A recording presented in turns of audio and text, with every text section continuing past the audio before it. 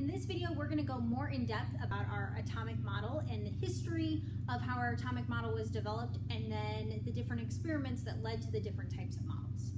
So our modern atomic model actually starts in 1803 with John Dalton, but we're gonna back up a little bit before that because atoms were part of a scientific theory long before um, Dalton came around. So if we start back in our region of 492 to 432 BC, um, we start with a Greek scientist named Empedocles. And Empedocles is who came up with the four original elements, earth, fire, air, and water. A little bit later, 460 to 432 BC, um, Democritus, another Greek scientist, was the first who's credited with using the word atom, or he actually used the word atomos, meaning small piece. So then there's a huge gap of time that's going on there. And again, this comes up in 1660s, the next time um, we hear anything that's kind of in this realm of scientific theory. And we have Boyle, who was one of the first scientists to um, identify some of our current elements. We have Priestley in 1773, who said that um, compounds were made up of elements. And then in 1775, we have our law of conservation of mass and Lavoisier, who identified hydrogen and oxygen. Sometime in the late 1700s, Proust is credited with the law of definite proportions. Um, and then Dalton in 1803 defined our first modern atomic model, um, and he came up with the law of multiple proportions. And then in 1810, Avogadro came up with relative mass and the idea of the mole, which we use to count atoms. So if we take a closer look at Dalton, Dalton's model of the atom was just a solid sphere, and he said a couple of things about these atoms. He said that all matter is made up of atoms. He said that these atoms are indivisible and indestructible, which means you cannot break them down. Uh, Dalton's model is a solid sphere. There is nothing inside of it.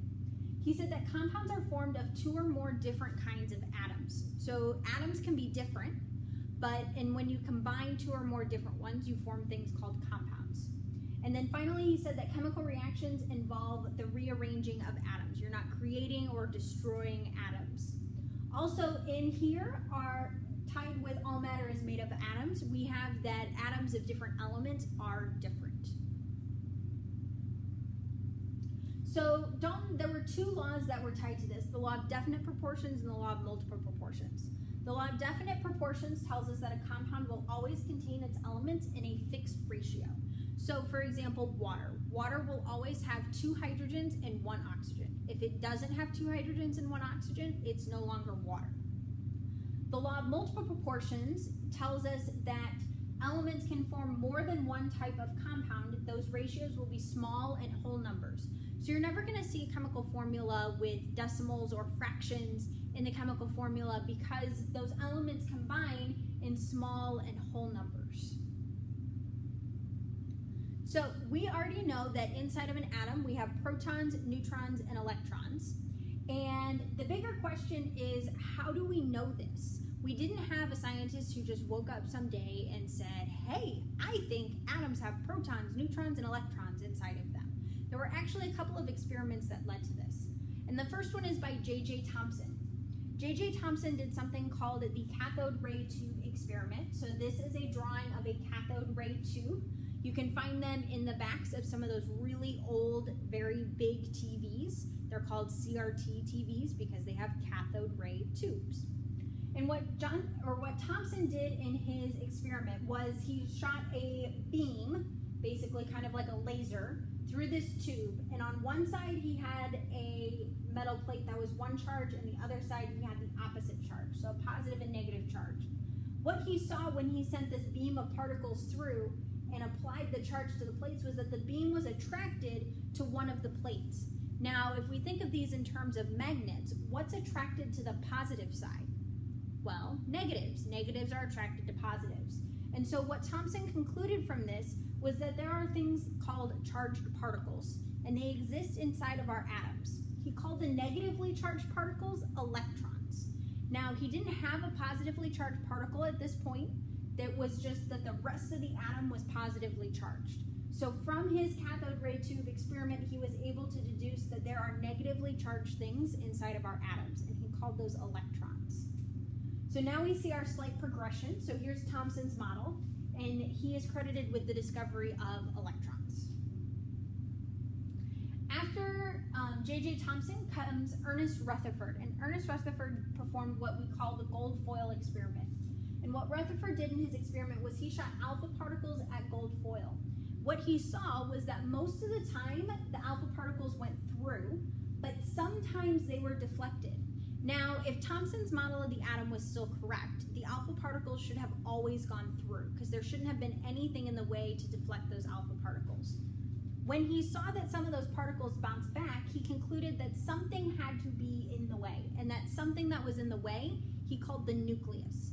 And he said instead of the positive being all spread out like in Thomson's model, he said the positive part of the atom was all bunched together in the center called a nucleus. And that's what caused the alpha particles to bounce back. And that nucleus has what we now call protons. So Rutherford is credited with the nucleus and with um, protons. The electrons then, he said, just orbited around the outside. So they're still randomly arranged, but they're randomly orbiting around the outside of the atom. This is actually probably the model of the atom you are most familiar with. Um, so we have our nucleus in the middle. So we took all the positive and put them in the middle of the atom, and the electrons are orbiting around the outside. After um, Rutherford comes Niels Bohr, and Niels Bohr was doing a series of experiments with light. And so if we think about what causes light, it has to come from particles. And so it's caused by these electrons moving up and down. Now, what Bohr saw was that different elements, he got different types of emission spectra. That's what these pictures are called. These are called emission spectra. So what he saw was that different elements gave off different types of light. Well, in order for that to happen, the electrons have to be moving in different amounts of space because if they give off more energy, they're going to give off a different type of light. And he did what are called flame tests when he was looking at these. And it's something that we can actually perform still today. You can burn different compounds and they'll burn different colors because of where their electrons are placed. And so if we think about what causes the different colors of light, it's those electrons moving in different um, amounts of energy. So if we have this diagram here, we see energy coming in, the electrons bounce up in an energy level, and then when they fall back down, they emit photons of light. And so in order to get different colors of light, you need different amounts of energy, different amounts of energetic photons that are given off. And so what Bohr said was that electrons live in these specific energy levels. They're concentric, which means that they all nest within each other. It looks kind of like an onion to me. Um, and that these electrons live in these different energy levels. Now, each energy level can hold different amounts of electrons. They don't have to be full. The first one fills, and then you go to the second one, and then that fills up, and then the third, and so on and so forth. There are seven energy levels total. So the first energy level can hold a max of two electrons. The second energy level can hold eight electrons. The third can hold 18. The fourth can hold 32. And you can use the formula 2n squared to go all the way up to how many electrons would be held in the seventh energy level. So when you fill, when electrons fill out the energy levels, you start at the lowest, the closest to the nucleus, that's energy level one. You fill that until that gets full, and then you go to the next one, fill that until that gets full, so on and so forth. So if we look at all of these lined up, we have our solid sphere model from Dalton. We have our plum pudding or chocolate chip cookie model from Thomson, and Thomson discovered the electrons. We have Rutherford, who discovered the nucleus and the um, protons, and so the nucleus is in the middle and the electrons are orbiting around the outside. And Bohr didn't discover a new subatomic particle. He just said that the electrons, instead of randomly orbiting, they live in specific energy levels. And his evidence came from the different flame test and emission spectra experiments. So our subatomic particles are our particles that are smaller than an atom. And the one that we haven't talked about yet is the neutron. Okay, so the neutron was discovered by James Chadwick. he did experiments with the nucleus from Rutherford, from Rutherford's model of the atom, and he noticed through his experiments, through his X-ray experiments, that there was another particle that was coming out of the nucleus, but it had no charge. So our protons have a positive charge, our electrons have a negative charge.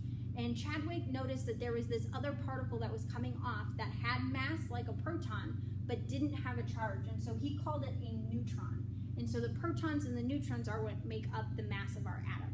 So between all of our different models of the atom, we also come up with our three subatomic particles. We have our positive protons that live in the nucleus. We have our neutral neutrons that also live in the nucleus. And we have our negatively charged electrons that live in our energy levels. And so they determine different types of things. Protons determine what element it is, neutrons determine the isotope, electrons determine the charge. And we're going to look at all of those things in a later objective.